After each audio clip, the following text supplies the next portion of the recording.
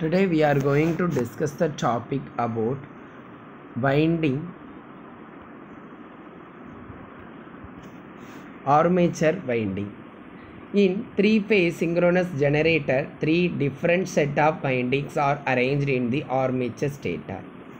And phase difference is 120 degree each of winding each phase of three phase induced EMF. Thus, three phase induced EMF has three different EMF given by ER, EM sin omega t with R phase, EY, EM sin omega t with the Y phase, EB, EM sin omega t with the B phase. Induced EMF in each set of winding is called phase EMF denoted by E phase winding terminology. The winding terminology can be classified to the conductor, turn, coil, coil side, pole pitch and slot angle. Conductor. A part of wire which is under influence of magnetic field and responsible for induced EMF. The conductor are placed in armature slot. This is the conductor. Turn. A conductor is one slot when connected to the conductor is another slot forms a turn. Coil.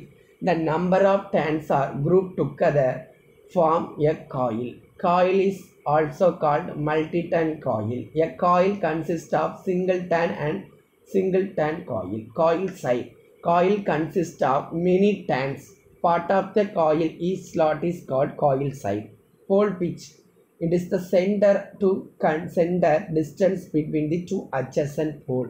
Slot angle. The phase difference contributed by one slot in degree. Electrical called slot angle. The armature winding classification. It has three different types. One is single layer winding and another single layer double layer winding, full pitch short pitch winding, concentrated and distributed winding. First one is single single layer and double layer winding. Single layer winding. One coil side occupies the total slot area. Used only small AC machine that is coil one coil side per slot and double layer winding. Coil side two layers double layer winding. More common used for 5 kilowatts machines. That is called double layer winding. It has two coil sides per slot. The advantages of double layer winding is single layer winding. Easier to manufacture and lower cost of the coil fractional slot can be used. Binding is possible. Lower leakage reactance, therefore better performance machine. Better EMF case of generator. Pole pitch. Pole pitch means that it is distance between the center of pole faces to adjacent pole called pole pitch. Pole pitch is equal to total number of slot in armature and number of poles coil. A coil consists of two coil sides placed in two separate slot. Slot pitch. It is the phase angle between two adjacent slot that is called slot pitch. Coil span or coil's pitch. It is the distance between two coil sides of a coil. Full pitch winding and short pitch winding.